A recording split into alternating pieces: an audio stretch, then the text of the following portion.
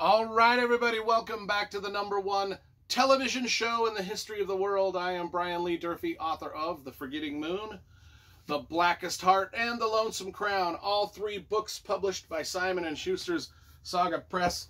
Today I'm going to be reviewing The High King by Lloyd Alexander. This is book number five in his Prydain Chronicles, and uh, this came out in 1968.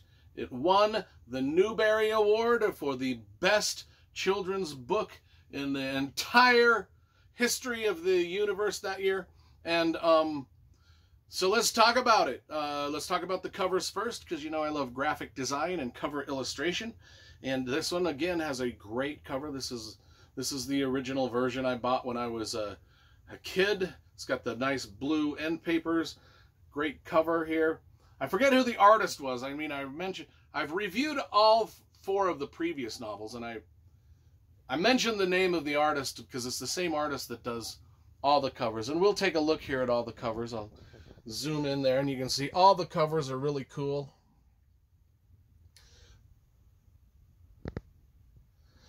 I like all of them anyway. Let's talk about this book, The High King, book number four. And, um, if you want to see my reviews of the other previous books, all you need to do is type in my name, Durfee, and you know the name of the book, like say The Black Cauldron, and the video review will magically appear upon your television screen. Uh, let's get to this.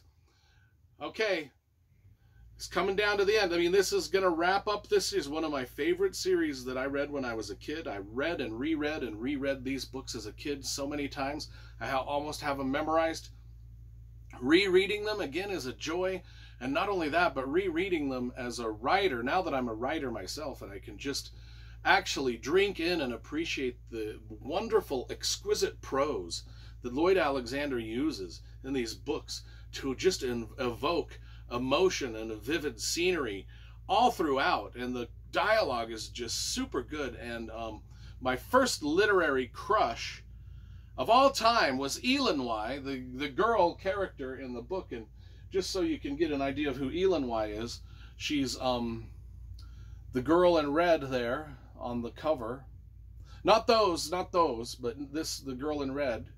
My first literary crush ever. I, I just absolutely adore everything about Eilonwy's character and how she act, uh, uh, acts and reacts to our other main character, Taran. So anyway, this book is winding down the story. Um, Taran, Princess Eilonwy, Fflewddur Fflam, Hen Wen, they're all there, all our favorites. Gurgi, this is uh, a, a, a, story that's kind of based upon Welsh legend and folklore, and it's all everything is Wales, everything, all the all the naming conventions of the characters and places and monsters and creatures. They're Welsh in nature. It's just really cool.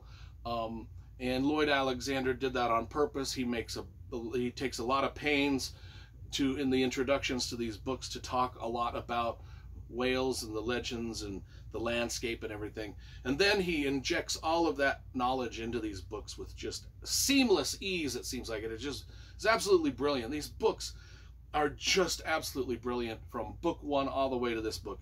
Um, and some of the themes of this book, you know, that stuck out to me right off the bat were internal, the, the, the battles we have, internal struggle, not only epic battles that are physical, and how those have deep, deep consequences, how war, eh, just in general, has consequences for not only nations and, uh, and large groups of people, but just the internal struggle it creates within individuals.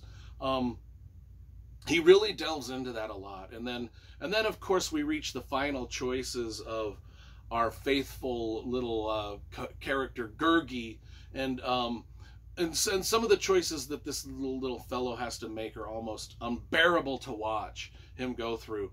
And in the end in the end um it's up to the reader to decide is this a happy ending or a sad ending? It's really you know up to you to decide it's a very satisfying conclusion for sure, um, but also poignantly and deeply sort of moving and sad in a way. Um, now, uh, what happens? Okay, the sword Dyrnwyn, the most powerful weapon in all of the realm has fallen into the hands of Arawn. Well, it's R1. I don't think it's R1. It's A R A W N. Aron. Aron, the Death Lord. Oh, that doesn't sound good. You don't want the most powerful magic weapon in all the realm to fall into the hands of the Death Lord. That does not sound good.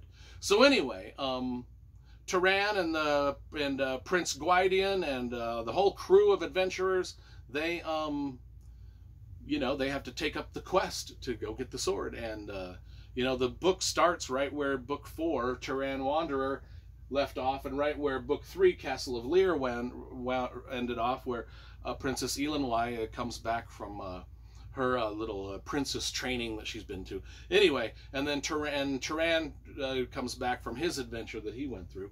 And uh, now they're all reunited again and having fun on their adventure and suffering, you know, tragic loss and lots of adventure.